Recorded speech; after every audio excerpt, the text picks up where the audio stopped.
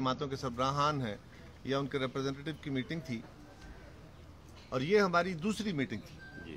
पहली मीटिंग मुस्लिम लीग ने होस्ट की आज हमने होस्ट की। और इस मीटिंग में बुनियादी तौर पे हमारा एजेंडा वन पॉइंट था कि हमने तेरह के जलसा तेरह दिसंबर को होने वाले जलसा में उसकी तैयारियाँ क्या हैं हुकूमत के रवैये क्या हैं तो उसके लिए पहली बात तो यह है कि तमाम जमातों ने भरपूर तरीके से अपनी अपनी तैयारियों के बारे में ब्रीफ किया और हमें बड़ी, हमें यकीन है इन कि सारी जमातें जिस तरह तैयारियों में लगी हुई हैं, लाहौर एक तारीखी जलसा होगा। जहाँ तक हम हैं, हम तो जलसा करेंगे, लेकिन हैरानगी हुकूमत से है कि वज़ीर आज़म फरमाते हैं कि जलसा करने से नहीं रोकेंगे। डिप्टी कमिश्नर कहता है, इजाज़त नहीं दूँगा। लेकिन वज़ीर आज़म पाकिस्तान धमकी देता है किसको? कुर्सी वालों को, टेंट सर्विस वालों को। कुर्सियाँ दी तो पर्चा दे दूँगा। वज़ीर आज़म धमकी देता है लाउड स्पीकर वाले को लाउड स्पीकर दिया तो अंदर बंद कर दूँगा। वज़ीर आज़म वहाँ खांचा फरोशों को धमकियाँ देता है कि अगर किसी ने वहाँ खाने का कोई सामान बेचा तो उसको नहीं छोड़ूँगा। यानी अब उनका लेवल ये है और उनकी परेशानी का आलम यह है कि वो ताकत इस्तेमाल करके देख चुके। मुल्तान में जलसा पीडीएम ने किया। अब उस तजर्बे के बाद वो वो तजर्बा नहीं तो अब वो जो इंतज़ामी मामला हैं उनको रोकने की कोशिश कर रहे हैं। खान साहब को इस बात का इल्म नहीं है, इन चीज़ों से जलसे नहीं रुका करते। मार्शल इससे ज़्यादा खौफनाक किस्म के हरबे इस्तेमाल करते थे, लेकिन जलसे नहीं रुकते थे, तहरीकें नहीं रुकती थी। और इमरान खान साहब के खिलाफ, इस हुकूमत के खिलाफ, इनकी अपनी नाकामियों, इनके अपने फेलियर इनके अपने जो ऐलानात थे, उससे यू टर्न्स की बदौलत। पाकिस्तान के अवाम इनसे तंग हैं, और ये यकीन रखे बैठे हैं कि ये हुकूमत जितने दिन और चलती है, पाकिस्तान और मज़ीद गंभीर मसाइल में उलझता जा रहा है। लिहाजा इस हुकूमत का जाना ज़रूरी है और ये कोई जमहूरी हुकूमत नहीं है। ये एक इलेक्शन के नतीजे में ज़रूर आई। वो इलेक्शन जो हुआ, आपको भी पता है और हम भी जानते हैं। लेकिन फाशिज्म भी इलेक्शन के ज़रिए आता है। ये फाशिस्ट है।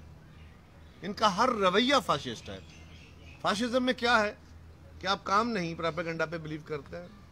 फाशिज्म में क्या है कि आप अपने मुखालिफ को अपना मुखालिफ नहीं खाली, अपना दुश्मन और मुल्क दुश्मन साबित करने की कोशिश करते हैं। उसके खिलाफ रियासती ताकत का इस्तेमाल करते हैं। आप अमूमी इखलाक को बर्बाद करते हैं। आप नई जो गुफ्तु का आगाज़ शुरू करते हैं और आप देख रहे हैं कि ढाई साल से पाकिस्तान के अंदर, सियासत के अंदर तलखियाँ अलखियाँ थोड़ा बहुत ज़रूर थी। लेकिन जो इस वक्त गंद उछाले जा रहे हैं और जो गाली गलोच का कल्चर इन्होंने आके शुरू किया है फ्रॉम टॉप टू बॉटम ये हमारी सियासत का हिस्सा नहीं था।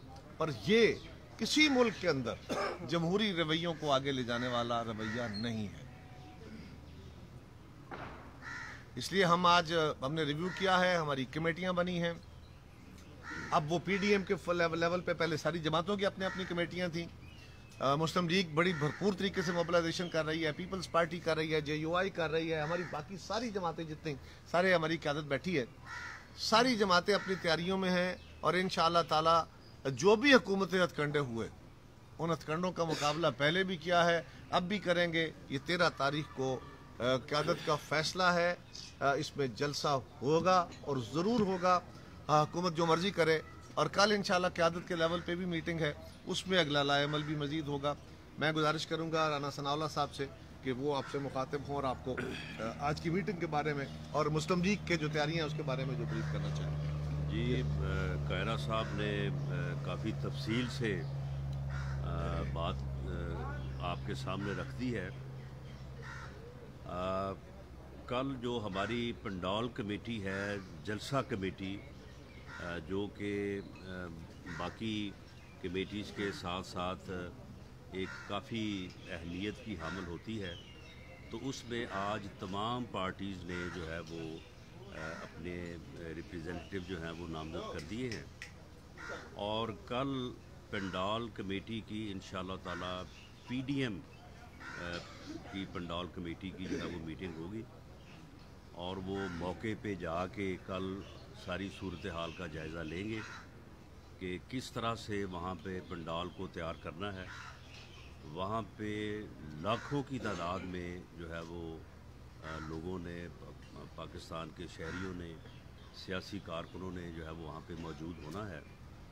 तो उसके लिए तमाम इंतज़ाम की ज़रूरत है। लाखों की तादाद में जमा सियासी कारकुनों और शहरियों को बगैर एक अच्छे साउंड सिस्टम के मुखातब नहीं हुआ जा सकता। बगैर लाइटिंग के जो है वो इंतज़ाम वहाँ बेहतर नहीं हो सकते। अब ये वज़ी अजम का हाल देखें कि ये काम तो था कि ये डिप्टी कमिश्नर ये बात करता कि मैं ये कर रहा हूँ और ये ये मैं जो है वो रुकावट डाल रहा हूँ। मुल्क का वज़ी अजम कह रहा है कि कुर्सियाँ वहाँ पे नहीं लगने देंगे, वहाँ पे लाइटिंग का इंतज़ाम नहीं होने देंगे, वहाँ पे स्टेज हम नहीं बनाने देंगे। और फिर उसी ज़ुबान से ये कहता है कि हम जलसा करने से नहीं रोकेंगे। मीनिंग देयर बाई कि मुल्तान में उन्होंने रोकने की कोशिश की। उसके बावजूद मुल्तान के गयूर शहरियों ने वहाँ पे जलसा इन्हें करके दिखाया। जब हुकूमत इस किस्म के हथकंडे अपनाती है तो फिर ये बात मैटर नहीं करती कि क्राउड की तादाद क्या थी गैदरिंग की तादाद क्या थी। फिर मैटर ये करता है कि जलसा हुआ या नहीं। तो जलसा फिर मुल्तान में हुआ और हुकूमत को और इसके तर्जमानों को चाहिए तो ये था कि ये कोई शर्म महसूस करते। लेकिन ये बुनियादी तौर पे बड़े बेशर्म लोग हैं फासिस्ट हैं। तो इसलिए उन्होंने अब ये रास्ता अपनाया है कि वो सामने आके रियासती ताकत जो कि वहाँ पे नाकाम हुई, उसे इस्तेमाल नहीं करेंगे, लेकिन उसको इनडायरेक्टली जो है वो इस्तेमाल करेंगे। पीडीएम की जो जलसा कमेटी है, वो कल जायज़ा लेने के बाद इन ताला 11 तारीख को 11 दिसंबर को इन जो है वो पीडीएम की सूबाई क़्यादत साथ होगी और वहाँ पे जाके जो है वो जलसा की तैयारी का काम जो है वो शुरू किया जाएगा कि उसमें कम से कम जो है वो एक दो दिन जो है वो दरकार होते हैं। तो इस सूरत हाल में जलसा हर कीमत पे होगा। पूरे पंजाब से बिलखसूस और पाकिस्तान से बिलमूम लोग जो है वो यहाँ पे मौजूद होंगे। और यहाँ मौजूद होकर इस मौजूदा नाअहल और नालायक टोले के ख़िलाफ़ अपना अदम अतमाद जो है वो शो करेंगे, इजहार करेंगे और इस बात का अदा करेंगे कि पाकिस्तान में अब ये खेल जो सत्तर साल से रचाया जा रहा है कि मर्ज़ी के इलेक्शन, मर्ज़ी के नतज और फिर इस किस्म के लोगों को ला के बैठा के जो है वो उनसे जो है वो ताबेदारी करवाई जाती है। ये अब मज़ीद नहीं चलेगा। अब यहाँ पे वोट को इज़्ज़त देनी पड़ेगी। आवाम के फ़ैसले को तस्लीम करना पड़ेगा। और ऐसा होगा तब भी जो है वो मुल्क आगे बढ़ेगा और मुल्क जो है वो तरक्की कर सकेगा। ये एक नेशनल काज है। इस काज के लिए तमाम सियासी जमातें जिनके कायदीन, सूबाई कायदीन आपके सामने बैठे हैं, इन्होंने जो है वो बिल्कुल मैदान में ये सारी सियासी जमातें आई हैं। तेरह दिसंबर को मरकज़ी कायदीन भी यहाँ पे तशरीफ़ लाएँगे और इन ताला जलसा हर कीमत पे होगा और अगर इन्होंने उसके पुरअमन इनका में कोई रखना डाला, जिस तरह से वज़ी अजम ये बात ख़ुद कह रहा था तो उसके नतज जो हैं, वो दुरुस्त नहीं होंगे। उसके नतीजे में यकीनन फिर कोई तसादम की सूरत हाल पैदा होगी, जिसमें फिर कोई भी, कुछ भी हो सकता है। और ऐसे किसी नुकसान की ज़िम्मेदारी बरह रास्त जो है, इमरान खान नियाजी के ऊपर जो वो होगी। इसलिए हमारा आज भी ये मुतालबा भी है और ये अज़म भी है कि तेरह दिसंबर को आवाम को पुरअमन तरीके से अपने अपनी राय का इजहार का जो है वो मौका दिया जाए। बसूरत दीगर जो है वो तमाम ज़िम्मेदारी जो है वो हुकूमत पे हो। बहुत शुक्रिया। एक मिनट जरा जी नाम जय। मोहम्मद सफ़ीउल्लाह जनरल सेक्रेटरी जमीयत इस्लाम पंजाब मैं गुजारिशात फरमा दी हैं कैरा साहब ने भी और राना साहब ने भी। इस सिलसिले में मेरी गुजारिश यही है कि हमारा मौक़ पहले दिन से अ, इस हुकूमत के मुतालिक यही रहा है कि ये हुकूमत एक नाजायज़ तरीक़े से कौम और मुल्क पर मुसलत की गई है। ये आवाम की नुमाइंदा हुकूमत नहीं है। लिहाजा इस हुकूमत को ख़त्म होना चाहिए और इन मौजूदा नाजायज़ हुक्मरानों को घर जाना चाहिए। इसी मौक़ को लेकर आज हम इस तहरीकी सिलसिले को आगे बढ़ाते हुए तेरह दिसंबर के जलसे तक पहुँच रहे हैं। और इन पाकिस्तानी कौम तेरह दिसंबर को बता देगी कि ये हुक्मरान अब नहीं रह सकते और पूरी कौम इन हुक्मरानों को मुस्तरद कर चुकी है। मैं समझता हूँ कि जिस तरह खान साहब धमकियाँ दे रहे हैं। मुल्तान जलसे के हवाले से धमकियाँ दी गई हैं, लेकिन वो जलसा होकर रहा है। और अब तेरह दिसंबर के हवाले से जो धमकियाँ दी जा रही हैं, हम बता देना चाहते हैं कि ये जलसा होकर रहेगा और ये जलसा मीनार पाकिस्तान पर ही होगा। इसमें कोई दूसरी बात, कोई दूसरी राय नहीं है। और जिस तरह से खान साहब धमकियाँ दे रहे हैं तो मैं उन्हें कहूँगा कि आप लोग आप खान साहब आप वजारत उज़मा के बजाय बेहतर होगा कि आप एस एच ओ की वर्दी पहन लें और थाना में आ जाएँ। ये धमकियाँ इस मनसब के लायक नहीं हैं। बहुत शुक्रिया। ये एक बात मैं वाजे करनी चाहता हूँ कि किसी सूरत भी जलसे का मकाम तब्दील नहीं होगा। वो मीनार पाकिस्तान ही वो जगह है जहाँ पे तमाम लोग जो है उसी जगह पे पहुँचेंगे।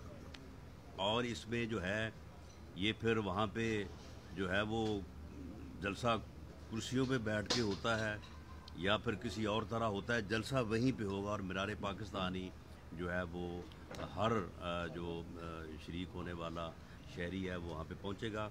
एक बजे का जो है वो टाइम हमने दिया है ताकि हम चाहते हैं कि डे लाइट में जो है ये जलसा जो है, क्योंकि मौसम सर्दी का भी है, लोगों ने बाहर से आना है, वापस भी जाना है तो हम उसको डे लाइट में कंक्लूड करना चाहते हैं। तो इसलिए हमारी ये रिक्वेस्ट है कि शरीक होने वाले अहबाब जो हैं, वो एक बजे तशरीफ़ तक तशरीफ़ ले आएँ, ताकि जो है वो जलसा जो है वो शुरू किया जा सके।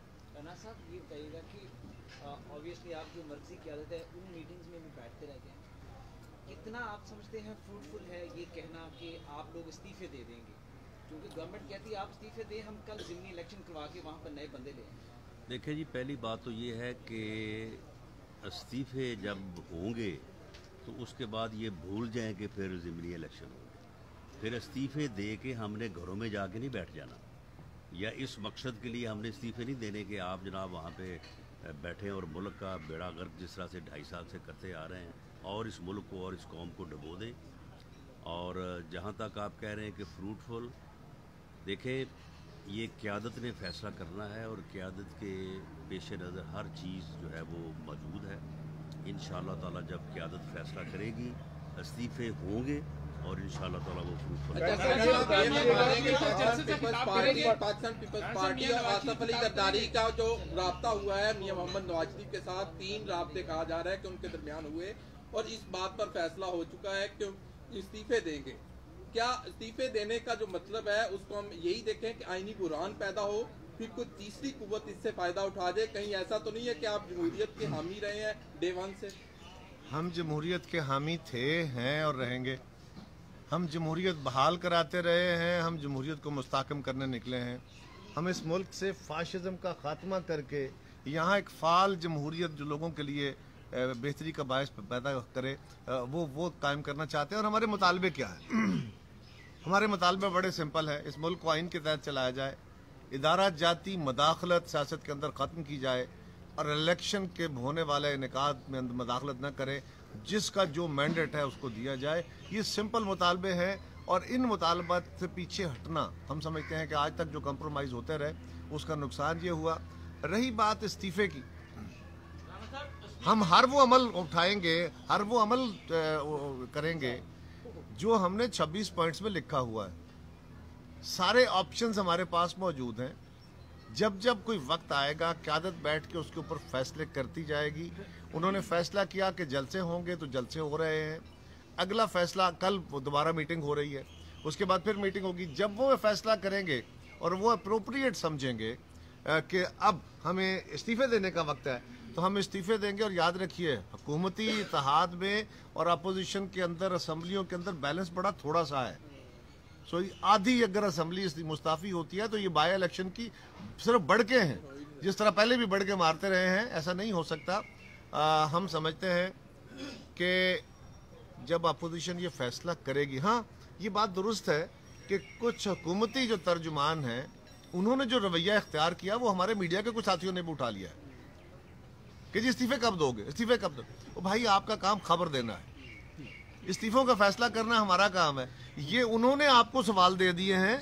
इनशाला याद रखिए सियासत का फैसला बिल्कुल बर वक्त होता है और बर वक्त करेंगे। अच्छा, साहब ये बता दीजिएगा आप पीपल्स पार्टी पर मुकदमे दर्ज हो गए हैं कल रैली निकाली है आप पर भी हुआ जैसे कि मुस्लिम लीग नून पर भी हो रहे हैं। इस हवाले से कल क्या तेरह दिसंबर के हवाले से अगर पुलिस को इस्तेमाल करती है हुकूमत आपका लाए अमल क्या होगा? तो सर जी हम तो पुलिस से आगे इदारों को डील करते रहे हैं ये क्या ये हम तो मार्शल लॉ के मुकाबले में गोलियाँ जवाब ये है कि जलसा होगा। जलसा होगा। राणा साहब ने बात ठीक है। आपकी क्यादत बार बार और मौलाना फजल रहमान भी कहते हैं न सिर्फ़ इमरान खान बल्कि उनको लाने वालों को भी घर जाना पड़ेगा। मरियम नवाज़ ने भी कल कन्वेंशन में भी ये कहा। तो इसमें लाने वाले कौन है? क्या असली क्यादत के भी इस्तीफे यार सारी कौम को समझ आ गई अभी तक आपको नहीं समझ आई। कमाल हो ख्याल ये है कि अगर आपने इस्तीफे लॉन्ग मार्च से पहले दे दिए तो फिर वो राना साहब वाली बात के फिर आपको एक्स्ट्रा एफर्ट करनी पड़ेगी। क्या ये बात ठीक है कि लॉन्ग मार्च के बाद इस्तीफों का फैसला होगा? देखिए यहाँ बैठे हुए लोगों ने फैसला नहीं करना। आप गलत फोरम से एड्रेस कर रहे हैं। ये फैसला हमारी क्यादत करेगी। मैंने सिर्फ़ इतनी गुजारिश की कि ये हमारा फैसला है सारी जमातों का कि हम आ, जो मराहल तय किए थे एपीसी में और जिस जिसमें पीडीएम बनी थी हम उसकी सारी जमातें पाबंद हैं। उसमें इस्तीफों का ऑप्शन है। हम इस्तीफे कब देंगे? ये तो हम जानते हैं ना। और जब देंगे तब अगले। यही तो। देखिए ना अगर सारी रात बातें आपके सामने अभी अया हो जाए।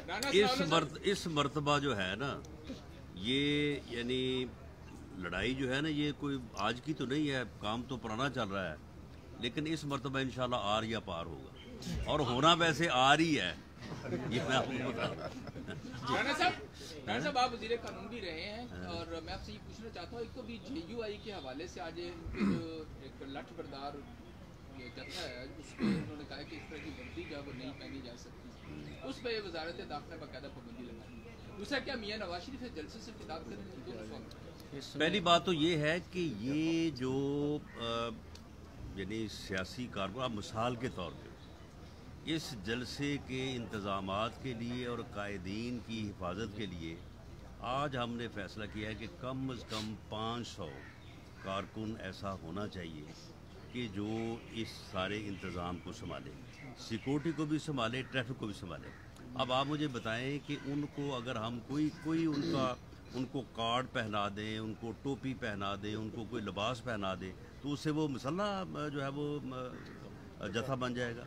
ये बिल्कुल गवर्नमेंट की जो है ये गलत और बुखलाहट का जो है वो नतीजा है।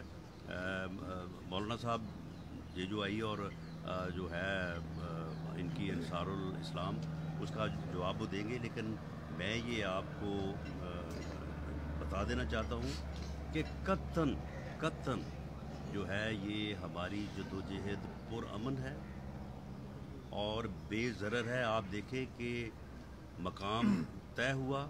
वहाँ पे लाखों की तादाद में लोग इकट्ठे हुए तकारीर हुई। उसके बाद जो है वो लोग डिस्पर्स हो गए।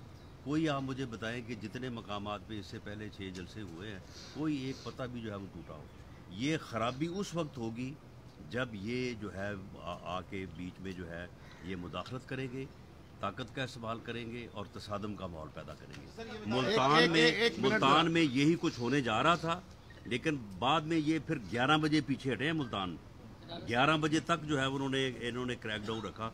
उसके बाद ये पीछे हट गए हैं। तो पुरमन जलसा हुआ लोगों ने तकलीफ़ सुनी। डिस्पर्स हो गए। हाँ मियाँ नवाज़ शरीफ का जो है वो फैसला कौन खताब होगा इंशाल्लाह। एक मिनट जरा जेई वाई से मुतलका सवाल था वो जरा बता दें। वो जरा बता दें। उनके लिए हफाजत के लिए या मदामत के अगर आपको इजाज़त नहीं मिल रही दरखास्त नहीं इजाज़त नहीं जलसे की मिल रही उनके पास क्या होगा कि अगर कोई पुलिस उनको रोकती है फिर लाठी होगी या क्या क्या उनको हथियार दिया जाएगा? देखिए गुजारिश ये है कि अंसारुल इस्लाम जो हमारी एक जमात को जमाती प्रोग्रामों के नज़म व नस्क को संभालने की एक हमारी जैली और इंटरनल एक तंजीम है। उसको जिस हवाले से उछाला जा रहा है उसका मामला और गलत अंदाज से कौम के सामने पेश किया जा रहा है क़तन ऐसा नहीं है। ऐसी तंजीम तो उन्नीस में अ, मोहतरम कायद अज़म के दौर में भी नेशनल गार्ड के नाम से थी। तो क्या उसके बारे में फिर क्या कहेंगे? और दूसरी बात यह है कि अंसारुल इस्लाम हमारे दस्तूर के अंदर दर्ज है और हमारी पार्टी इलेक्शन कमीशन में रजिस्टर्ड है। तो वजारत दाखिला कौन होती है कि हमारी जमात पर या किसी जैली तंजीम पर या कि हमारे किसी शोबे पर पाबंदी लगाए हम हर इस किस्म की पाबंदियों को मुस्रद करते हैं। हमारे नज़दीक उसकी कोई हैसियत नहीं है।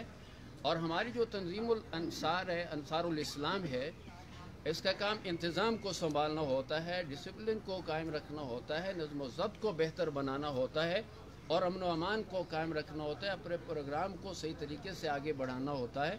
और आज तक सारी दुनिया देख चुकी है, सिर्फ़ पाकिस्तान, ये कौम नहीं, पाकिस्तानी मीडिया ही नहीं। सारी दुनिया ने उसको देखा है कि हमारे तंजीमुल अंसार ने कितने बड़े बड़े 16 मिलियन मार्च हो चुके हैं। और इसमें अपना बेहतरीन किरदार पेश किया है, अमन अमान कायम रखा है। तो इस हवाले से तो हुकूमतों को एवार्ड देना चाहिए इस तंजीम को। बनस्बत के इसके कि वो किरदार कुशी की जा रही है। एक एक एक मिनट मैं मैं मैं छोटी सी भटिंडा भटिंडा मैं गुजारिश करता हूँ। मैं गुजारिश करता मारने किसी को मारने या भगाने के लिए नहीं है अपने नजम बेहतर हूँ करने दूसरी गुजारिश ये है कि हर हाथ है में कि अगर कोई डंडा मारे तो फिर जवाब में डंडा मारा जाए एक मिनट ठहरे जी एक मिनट। गुजारिश ये है कि हर हाथ में झंडा होगा और झंडे में डंडा होगा। मुकदमा दर्ज कर रही है और रुकावटें खड़ी कर रही है। आप कह रहे हैं कि ये कठपुतली है, किसी के कहने पे कर रही है। आप वज़ीर कानून थे, तब भी तहरीके इंसाफ के कारकुनों के घरों पे छापे मारे गए। आप किसके कहने पे कर रहे हैं? तहरीक इंसाफ के घरों पे छापे जो है, वो सिर्फ़ आपको इलम है कि तहरीक इंसाफ ने चौदह से लेके सत्रह तक जितने जलसे किए, हमने इनको मुकम्मल सिक्योरिटी दी। और हर जगह पे, जिस जगह पे उन्होंने कहा कि जी हमने स्टेडियम में करना है, फलां जगह पे करना है, इनको इजाज़त दी। इन्होंने रैलीज की, हमने इनको इजाज़त दी। ये फिर वाक़ हुआ था इस्लामाबाद में।